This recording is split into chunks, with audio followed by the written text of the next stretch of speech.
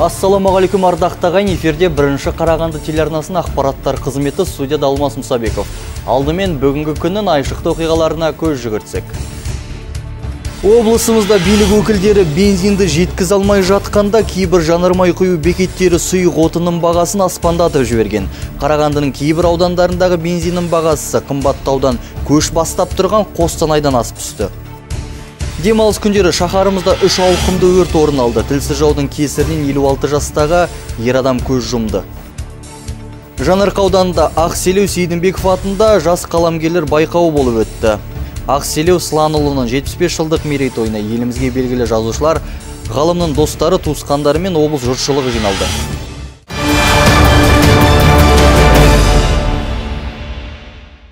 Еліміздің бірқатар өңірлеріндегі бензин саласындағы қарбалас әлі басылар емес. Жергілікті билік өкілдері бензинді жеткізе алмай жатқанда кейбір жанармай құю бекеттері сұйық отынның бағасын аспандатып жіберген. Тіпті Қарағандының кейбір аудандарындағы бензиннің бағасы қымбаттаудан көш бастап тұрған Қостанайдан да асып кетті.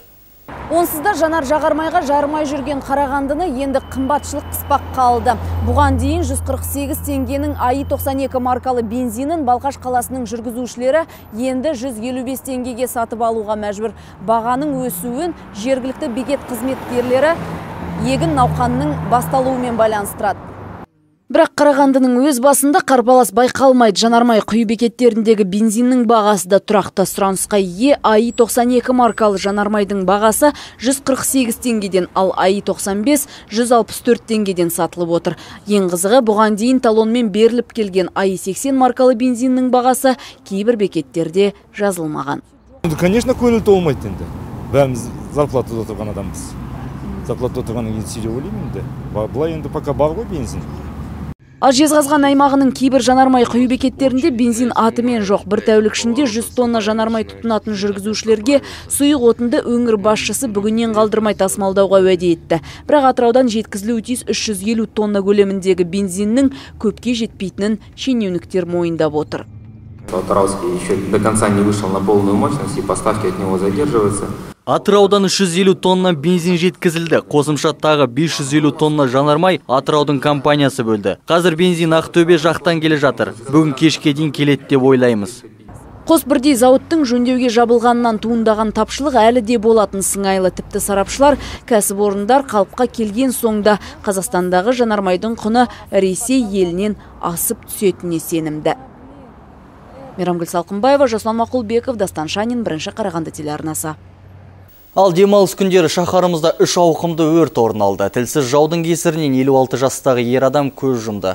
Аталмыш оқиға Республика даңғылы мен университет көшесіндегі тұрғын үйлерде болған өрт орындарынан үш бала мен екі мүгедек адам құтқарылды. Қайғылы оқиға 29 қыркүйек күні орын алды. Төтеншеліктер қызыл жалынға оранған пәтердегі жиһаздар мен тұрмыстық заттар жарамсыз болып қалған дейді. Тілсіз жауды алдын алу барысында өрт сөндірушілер пәтер иесінің денесін тапқан. 29 қыркүйекте сағат 18-12-де республика 8 мекен жайы бойынша өрт туралы хабар түсті. Өрт орнына келген уақытта өрт сөндірушілер 5 қабатта орналасқан үш бөлмелі пәтерде 30 шаршы метр көлемінде өрт, өрт болуын анықтады. Оқиға орнында пәтер иесінің қаза болған пәтер иесінің мәйіті табылды. Өрттің болу себебі электр жылытқышты пайдалануына байланысты.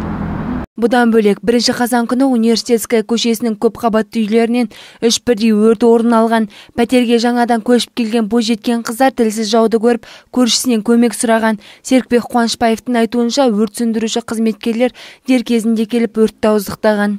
Олардың кезінде маған үйге мынау көрші қыз, қыз балалар жүгіріп келді. Ағатай үй жанып жатыр деп. Барсам квартирада жаңағы счетчик жанып жатыр газдың. Сосын мен сразу же неге пожаркаға звондадым пожарный сразу келді начали тушить сөндіріп не істегеннен кейін астыға түсті подвалды да пол жана бастады. Подвалды сөндірді. Сол бәріміз эвакуация жасадық. Үлкен кісілердің бәрін көтеріп түсірдік скорый келді скорыйға салып кетті тілсіз жау тіпті жертөлені жаулап алған. Осылайша қызыл жалын алтыншы подъездің пәтерінің біріне жеткен. Пәтерде ерлі зайыптылар болған. Жолы болғанда үй иелеріне көмекке көрші подъезде орын алған. Өртті сөндіріп жүрген төтеншеліктер бірнеше минутта ақ жеткен. Подумали, что в шахматном порядке выбила. өрт басталған уақытта мен үшінші қабаттағы әкемнің үйінде болдым. Үйге келсем күйеуім өрт өрт деп жанұшырып айқайлап жүр. Біз шошып кеттік. Бізде газды баллонға қосылған электрлік пеш бар. Мына жерде өрт лапылдап жанды. Күйеуім сөндіруге тырысты. Біз дереу өрт сөндіру қызметіне хабарластық.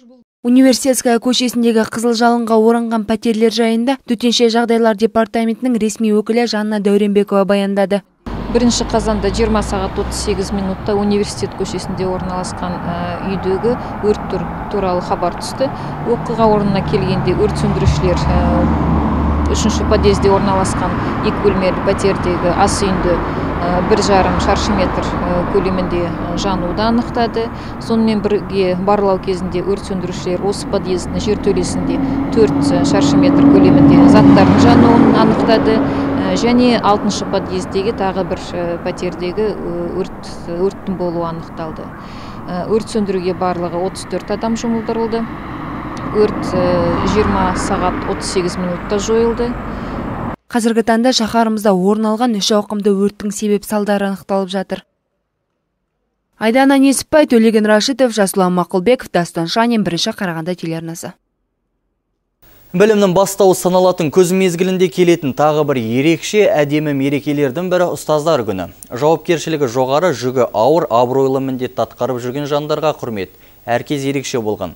Осыған орай аймағымыздың үздік педагогтарына облыс әкімінің сыйлығын табыс ету салтанатты шарасы өтті. Кәсіп озаттарын марапаттау осыдан 10 жыл бұрын тағайындалған. Биылғы жылы аталмыш сыйлық білім саласының 14 қызметкеріне тапсырылды. қайырлы күн қадірменді қонақтар аяулы ұстаздар Салтанатты шараны аша отырып, Қарағанды облысының әкімі Ерлан Қошанов мұғалімдерді кәсіби мерекелерімен құттықтады. Білім беру мемлекеттік саясаттың басым бағыттарының бірі, сондықтан аймағымызда жаңа мектептер құрылысына және оқытушылардың еңбек жағдайларын жақсартуға үлкен назар аудару керектігін атап өтті. барлығын ұмытса да ол алғаш қалам ұстаған уақытын ұмытпайды ұстаздың жылы алақанын ешқашан ұмытпайды шынымен де өмірдің мәні мен мағынасын адалдықтың не екенін парасаттылықтың не екенін бірліктің не екенін достықтың не екенін ең алдымен ұстаз үйретеді. Міне сондай ұстаздар бүгін осы залда отыр. Мен сіздермен бүгін осы мереке күні кездесіп отырғаныма өте қуаныштымын. Бүгін сіздер арқылы облыстың барлық жиырма мың ұстазын шын жүректен құттықтағым келеді. Биылғы жылы облыс әкімінің сыйлығына 204 адам үміткер болған. Негізгі сыйлықтың көлемі 500 мың теңгені құрады. Оны білім саласының 13 қызметкер алды. Ал білімді дамытуға қосқан ерекше үлесі номинациясы бойынша басты сыйлықтың сомасы 1 миллион теңге. Аталмыш марапаттың иегері Қазақстан Республикасының білім саласының құрметті қызметкері Рая Сабитова атанды.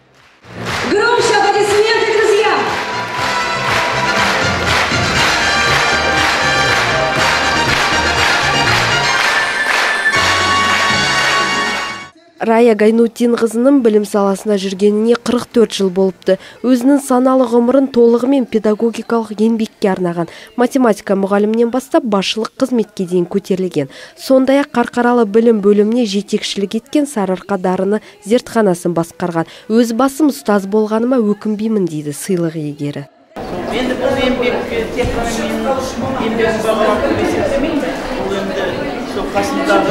жақсы. Менің де ұстаздарым болды. Сол ұстаздар одан кейін енді мен оқытқан оқушылардың арасында үлкен жетістікке жеткен оқушылар бар солардың еңбегін бағаламау деп санаймын Ұрпақ қамын ойлап, ұлт мерейін пайдадан артық көрген ұстаз ұққан адам үшін мәртебелі маман. Табиғаттың қоңыр күзінде көңілге қуаныш сыйлап, әдемі теңеумен тілек айтылған шара барысында әндер шырқалып, мың алғыс білдірілді. Арнайы құттықтауға Астана және балет театрының жетекші солисі Дина Хамзина, ағайынды Жүгінісовтер және Қарағанды концерт жұлдыздары мен мектеп оқушыларының қатысуымен өткен тамаша концерттік бағдарлама жиналғандардың көңіл күйін көтерді.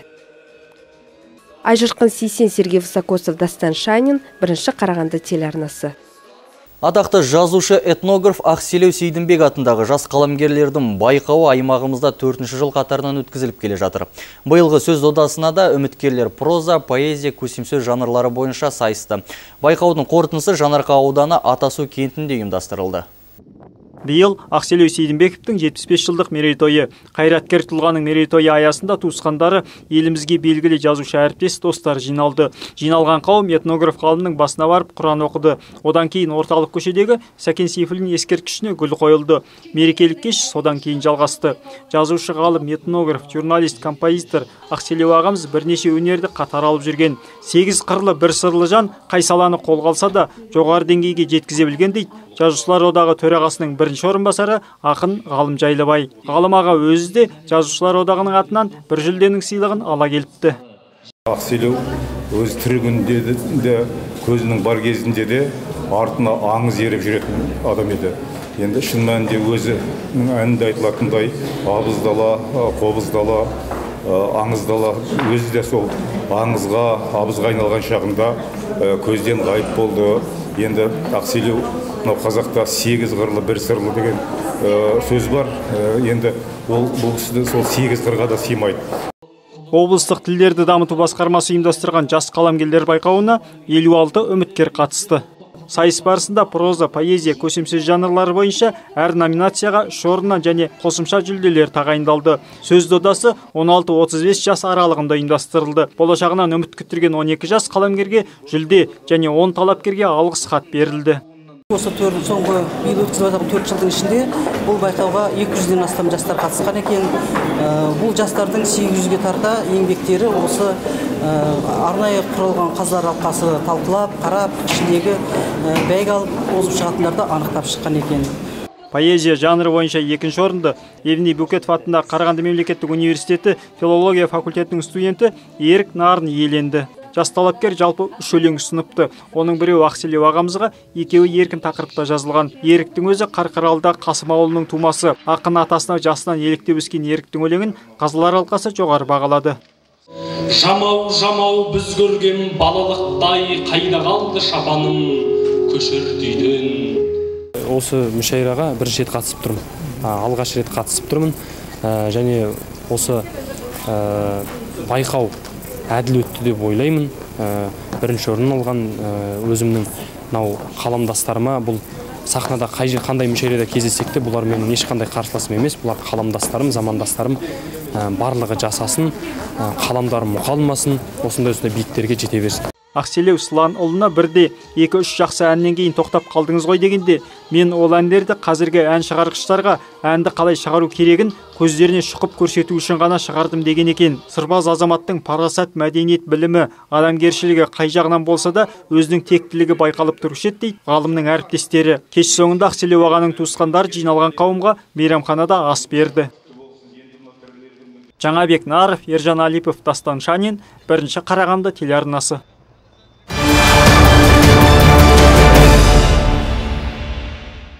Кеңес одағының екі дүркін батыры Талғат Бегелдинов атындағы Қарағанды Республикалық Жас ұлан мектебіне жаңадан қабылданған кадеттер салтанатты түрде ант қабылдады. Іс шараға ұстаздар қауымы, ата-аналар және әскери мектеп ұжымы қатысты. Саламатсыздар ма мырзалар? Республикалық жас ұлан мектебінің басшысы полковник Атыға Балғабеков өзінің мерекелік шараларды бастауға дайын екендігін хабарлады. Бұл күні жаңадан келген курсанттар ант қабылдады және ұстаздардың төл мерекесі тойланды.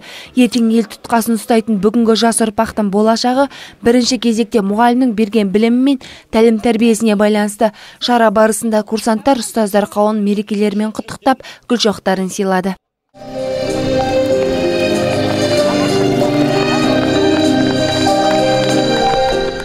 Ант қабылдау бұл әрбір курсанттың көңілін елең еткізетін сәт. Кеңес одағының екі дүркін батыры талғат бигелдинов атындағы қарағанды республикалық жас ұлан мектебінің жүз алпыс тәрбиеленушісі отанға адал қызмет етуге және әскери істің негізін танып білуге ант етті. Адал қайсар әділ және тәртіпті болуға ант етемін. Қазақстан Республикасының қорғаныс министрлігіне ауысқаннан кейін аталмыш мектепте тәлім тәрбие алуға ниет еткен оқушылардың саны айтарлықтай өскен. Тіпті бұл білім ордасында әскери әулет те пайда болған. Астана өңірлік қолбасшылығы материалдық техникалық қамтамасыз ету бөлімінің басшысы Жоламан Саржігітовтің ұлы Мадияр Сарген бүгінде қатардағы курсанттардың бірі біздің отбасымыз үшін ерекше күн. Себебі екінші ұлым мадияр қазақстан республикасына адал қызмет етемін деп ант қабылдады. Отан алдында ғана емес елбасы нұрсұлтан назарбаевқа да абыроймен қызмет етемін деді. Мен өте қуаныштымын және ұлымның осы мектепке оқуға түскеніне мақтанамын. Шара барысында кәсіби шеберлер каратэден және қоян қолтық ұрыстан бірнеше жаттығу түрлерін көрсетті. Суық қаруды белсенді қолданумен ашық шайқас немесе мүлдем қарусыз басып алу жаттығулары да болды. Тәжірибелі мамандардың өнерлерін дүйім жұрт тамсана тамашалады.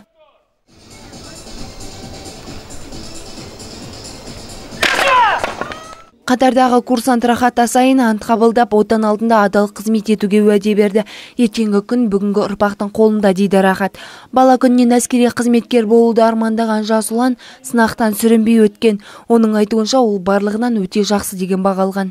Біз болашақ сарбаздар ұлттық тәрбиені ұлттық құндылықтарды салт дәстүрімізді бойымызға сіңіре отырып қазақстан республикасына адал қызмет етеміз деп сенеміз отанды қорғау деген мамандық бар. Ол әрине оңай емес бірақ өте абыройлы іс. Мен жас ұлан мектебінің ұланымын деп зор мақтанышпен айта аламын қазіргі таңда республикалық жас ұлан мектебінде үш жүзден астам бала білім алуда. Отыз жылдық тарихы бар аталмыш мекеме білім және ғылым министрлігінің қарамағында болған. Ал соңғы екі бері қорғаныс министрлігінің қарамағына өткен. Бұл мектеп жас ұрпақтың жаңа өмірге бейімделуіне яғни әскери өмірге ең бірінші аяқ алысы дейді мектеп басшысы атығай балғабеков. Мектептің тарихы 30 жылдан артық негізі. Бірақ қорғаныс министрлігінің қарамағына өткелі бұл мектепке екі жыл болды. Бұған дейін мектеп білім және ғылым министрлігінің қарамағында болған екі жылдан бері бұл әскери мектеп болып саналады әскери оқу орны болып есептеледі. Жыл сайын республикалық жас ұлан мектебіне еліміздің барлық аймағынан жүзге тарта оқушы қабылданады. Әр тәрбиеленуші кәсіби психологиялық тесттер тапсырады. Сондай ақ медициналық және физикалық дайындықтан өтеді. Кеңес одағының батыры талғат бегелдинов атындағы қарағанды республикалық жас ұлан мектебіне қабылдаудың басты мақсаты оқушылардың отанға қызмет етуде сүйіспеншіліктерін ояту. Сондай ақ тәрбиеленушілердің қоғамдық танымдық және шығармашылық белсенділігін арттыру. Айдана несіпбай сергей высокосов дастан шанин бірінші қарағанды телеарнасы Ашқабатта өткен Азия ойындарында қарағандылық Бейімбет Қанжанов самбодан 52 келі салмақта жеңімпаз атанды. Бұл жүлде аталмыш спорт түрінен еліміз үшін халықаралық додадағы алғашқы алтын медалі. Мемлекетіміздің абыройын асқақтатып қайтқан жеңімпаздарды жерлестері әуежайдан қарсы алды.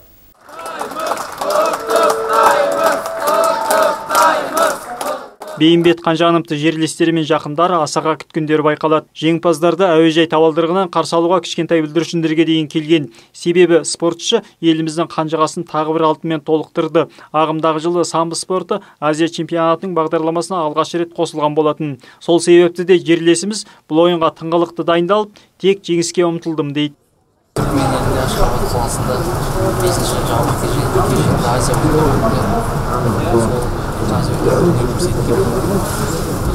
Жарыс өте жоғары дәрежеде болды. Ол жарыста көп жаттығулар жасадық финалдық кездесуін тәжік елінің палуанымен болды. Ол тәжік елінің тәжік палуанына мен әлем чемпионатында ұтылғанмын сол есесін осы азия ойындарында қайтардық биылғы әлем чемпионаты әлем чемпионатында жарыспен тоқтамаймыз әрі қарай. melakukan sesuatu maksudnya dia gitu gitu әлем чемпионатында 57 келі салмақта бейімбет қарсыласына есе жібергенімен азия ойындары осы жылдағы оның екінші жеңісі болды. Сөзінше бұл дода тартысты әрі қызықты өткен. Естеріңізге сала кетсек әлемге танылып үлгерген спортшы қарағанды облысы ақсу ауылы елді мекенінде дүниеге келген. Жоғары білім ала салысымен осакаровка ауданының учаскелік инспекторы қызметін атқаруға аттанған сегіз қырлы бір сырлы жігіт спортта да үздік атанып жүр. Бейімбет бауырым жеңісі құтты болсын дейміз. Бұдан да биік әлі сатылардан көрінеді деген сенімдеміз. Әлі де үлкен алла жазса үлкен жарыстарда үлкен қуаныштарда кездесерміз бұл жүлде тек бейімбет үшін ғана емес барша қазақстандықтарға аса маңызды болды. Себебі еліміздің көк байрағы тағы бір мәрте асқақтады. Ал жерлестері болса бейімбеттен үміті зор екендігін айтады. Бұл оның жеңістерінің тек бастамасы деген үмітте. Жаңабек наров аяжан мақан марат күлтенов дастан шанин бірінші қарағанды телеарнасы.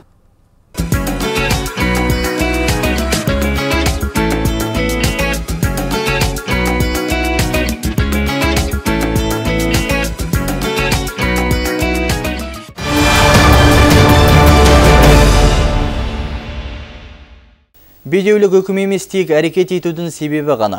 Саламея отбасын жоспарлау орталығының мамандары осындай пікірде. Себебі бүгінгі күні клиникада дені сау баланы дүниеге келуге мүмкіндік беретін тәсілдердің кешенді шаралар дайындалған. Аталмыш орталық дәрігерлерінің көмегімен аймағымыздың бірнеше отбасы сәби сүйіп ата-ана атану бақытына бөленіп отыр. Олеся Захарова жолдас екеуі отасқаннан кейін 8 жылға дейін бала сүйе алмай біраз қиналғандарын айтады. Бірнеше клиниканың көмегіне жүгінгенімен ол нәтиже болмаған. Абырой болғанда көршілері Саламея отбасын жоспарлау орталығы бар екендігін және өздері де сол жерден ем қабылдап нәрестелі болғандарын айтқан. Ақылдаса келе аталмыш орталыққа келген ерлі зайыпты 2011 жылы тұңғыштарын дүниеге әкеледі. Араға бірнеше жыл салып, отбасы екінші ұл баламен толықты. Мы обращались в клинику Бізге бір дәргер 100 пайыз бала көтере алмайсыз деп айтты. Тек жасанды рұқтандыру арқылы ғана нәтижеге қол жеткізуге олады деді. Біз Макаризо қызына келіп кеңес алдық. Ол кісі бала көтеретіне кепіл беремін. Бәрі жақсы болады деді. Және солай болды да. Ол өз кәсібінің шебері, мақсаты айқын, нәтижесі жоғары. Мен қазір Теміртау қаласында аталмыш орталықтан ем қабылдап, балалы болған бірнеше отбасыны білемін. Ал Саран қаласының тұрғыны Айман Тен 2007 жылы түсік тастағаннан кейін 10 жыл бойы құрсақ көтере алмағандығын айтады. Бедеуліктің екінші деңгейі деп диагноз қойған дәрігерлер жүкті болу мүмкіндігін жоққа шығарған. Үміт оты Саламея орталығына келіп кеңес алғанда қайта тұтанды дейді ол. Айман аталмыш клиника мамандарының көмегімен құрсақ көтереді. Бірақ инсулинға тәуелділігіне байланысты дәрігерлер баланы алдыртып тастауға кеңес берген. Өз дегеннен қайтпаған әйел орталық мамандарының көмегімен дені сау баланы дүниеге келді. По области я... Мен облысымыздың барлық клиникаларында болдым десе де болады. Маған барлық жерде бедеуліктің екінші деңгейі деген диагноз қойды. Содан кейін жолдасым екеуміз Макаризо қызына келдік. Ол кісі қатал, бірақ міне көптен күткен арманымыз орындалды. Біз мұнда қайтадан сараптама тапсырдық, бізге ем курсын дайындады. Бастысы шыдамдылық, біз ұзақ жүрдік, бірақ маңыздысы қорытынды нәтиже. Саламея орталығы жүктілікті жоспарлау және бедеулікті емдеумен айналысады. Клиника басшысы әдетте мұнда адамдар өте қиын жағдайда келетінін айтады. Біріншіден ерлі зайыптылардың денсаулықтарындағы кінәрат болса, екіншіден психикалық қиындықтар. Сол себепті де әр емделушіге жеке жол тауып, әр жағдайда емдеудің кешенді курсын жоспарлауға тура келетін көрінеді ал нәтижеге жетудің басты факторы дәрігерлердің айтқанын мұқият орындап емдеу курсына жауапкершілік таныту. Жоғары білікті мамандардың кеңесі психологиялық көмек пен қажетті ем шараларының кешенді жоспары жүзеге асқанда ана атану мүмкіндігі де арта түседі. Ең бастысы әр науқасқа шынайы мейірімділік таныту дейді мамандар. Бұл әрекеттердің барлығы отбасыларға бедеулік мәселесін шешуге мүмкіндік береді. Орталық жұмысының мәні де осы дейді клиника директоры. Лечение это одно но для пациентов емде ол бір мәселе маңыздысы дәрігердің науқастарға деген көзқарасы. Дәрігер өз жұмысын сүйуі керек және емделушілері кез келген жағдайда көмек сұрап келе алатындай адамға айналуы керек. Ал бірден бала көтере алмайсыз деп үкім шығарып есікті тарс жабу дұрыс емес. Кез келген жағдайда мәселені шешудің жолдарын қарастыру керек. Ерлі зайыптыларға бала сүю мүмкіндіктері бар екендігіне көздерін жеткізу керек. Мака Чачуа бүгінгі таңда жастардың өз денсаулықтарына жауапсыз қарауы болашақта үлкен мәселелерге алып келетіндігін айтады. Болашақ аналардың денсаулығына алаңдаушылық танытқан дәрігер жастарға отбасын бүгіннен бастап дұрыс жоспарлауға кеңес береді. Сондай-ақ бедеуліктің тек нәзік жандыларда ғана кездеседі деген ескі түсініктен арылу керектігін айтқан орталық мамандары кей жағдайда әйел адамның бала көтермеуіне ер азаматтың денсаулығында кінәрат та себеп болатындығын алға тартады не сказать, что там есть чисто или. Тек әйелдің не тек қана еркектің бедеулігі деген мәселе жоқ. Әдетте әйел адамның денсаулығындағы дерттер мен ер адамның бойындағы кінәрат нәтиженің болмауына себепші болып жатады. Сол себепті де біздің орталықта кешенді көмек көрсетіледі. 2009 жылы жұмысын бастаған отбасы жоспарлау орталығы бүгінгі таңда барлық қажетті мамандармен жасақталған медициналық мекемеге айналып үлгерді. Мұнда келген науқастар осы жерде сараптама тапсырып ем қабылдайды. Барлық адам әкелік аналық бақытты сезіну керек. Бедеулік үкім емес. Бұған бүгінгі біздің кейіпкерлеріміз көз жеткізді. Алмас Мұсабеков, Жаслан Мақұлбеков, Дастан Шанин, бірінші Қарағанды телеарнасы. Қарағандылық Сарықа хоккей клубы қатарынан екінші кездесуде өз қақпаларын шайбадан құрғақ сақтап қалды. 30 қыркүйек күні Воскресенск қаласында жергілікті химикке қарсы ойнаған жерлестеріміз айдын иелерінен 0-2 есебімен басым түсті. Қарсыластар кездесу басталысымен жақсы қарқын алғанымен нәтижелі соққыларды екінші ойын бөлігіне қалдырғандай болды. Алғашқы кезең айдын иелерінің дөрекі ойынымен есте қалды. Кездесудің бел ортасына таман қарағандылықтарға есеп ашудың тамаша мүмкіндігі туды. Қарсыластың бөлігінде ойнатылған шайбаны қақпашының иығына көздеп соққы жасаған Станислав Альшевский алғашқы голдың авторы атанды. Өз қақпаларына жіберілген шайбадан кейін химик хоккейшілері ойын тізгінін қолдарына алуға тырысқандарымен нәтиже шықпады. 38 минутта Артур Сарваров қарсыластың қақпасына екінші шайбаны тоғытты. Үшінші периодта айдың қожайындары бірнеше қауіпті бірақ нәтижесі шабуыл ұйымдастырды. Төрешінің соңғы ысқырығы 0-де 2 есебімен қарағандылықтардың жеңісін тіркеді. Осылайша арқа жігіттері Воскренск қаласынан үш ұпайды еншілеп қайтты. Кездесу соңындағы баспасөз отырысында Сарыарқаның бас жаттықтырушысы Александр Соколов қақпашы Георгий Гелашвилиге алғысын білдірді. Жерлестеріміздің келесі ойыны Чехов қаласында өтеді. Мұнда сарыарқалықтар жергілікті звезданың қарқынын байқап көрмек. Ардақты ағайын бүгінгі арнамызға келіп түскен ақпараттар легі осындай болды. Егерде бір қызықты жаңалықтарыңызбен бөліскіңіз келсе, редакциямыздың 420649 телефонына қоңырау шалуға болады. Әдеттегідей жаңалықтарымыздың толық нұсқасын арнамыздың сайтынан таба. Мен өздеріңізбен қоштасамын. Амандықта жүздескенше.